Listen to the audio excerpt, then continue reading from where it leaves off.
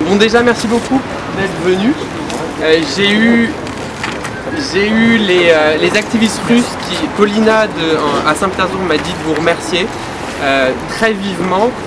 Je pense que tout le monde sait pourquoi on est là, mais clairement, demain, le Parlement de Saint-Pétersbourg va euh, voter en troisième et dernière lecture une loi qui, va censurer n'importe le terme homosexualité, le terme gay, ou en fait va rendre illégal le fait de simplement parler euh, de l'homosexualité, de la bisexualité de la transidentité.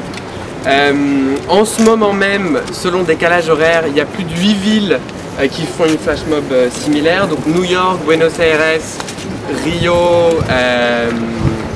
au Portugal, à Lisbonne, à à Anvers, merci, et dans d'autres villes. Euh, donc l'objectif là, c'est on va tous se diriger vers la fontaine et on va faire prendre une photo. Donc vous avez des super euh, visuels si vous en voulez un ou s'il en reste, vous pouvez en prendre. Il en reste un ici. Vous avez des baillons dans les draps de ma maman.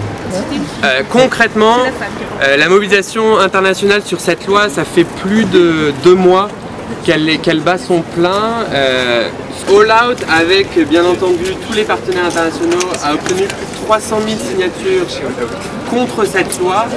Euh, le, vote de demain, euh, on est à peu près sûr qu'il va passer.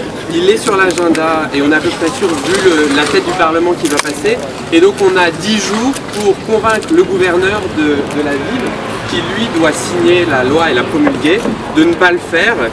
Euh, D'où la mobilisation internationale.